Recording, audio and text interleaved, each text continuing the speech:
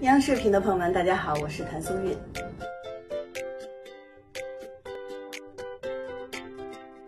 一个是古装，一个是现代。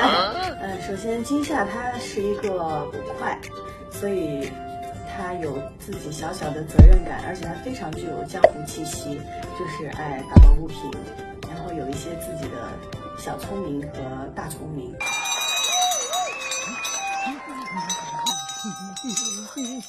啊！跳了。那尖尖呢？就是出生在一个感觉像糖果屋的地方，呃，两个爸爸还有两个哥哥都给予了他很多的爱。我觉得他们都有我身上很大的一部分。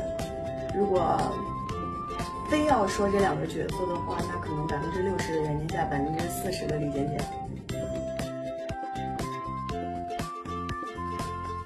呃，不太一样，对，因为像《今夏锦衣之下》当时拍摄它是古装，然后你还要随时感觉生活在古代里，就不像《以家人之名》那么的生活。那《以家人之名》，我们整个氛围就像是一家一家人，然后在每天做着每天的事情是一样的。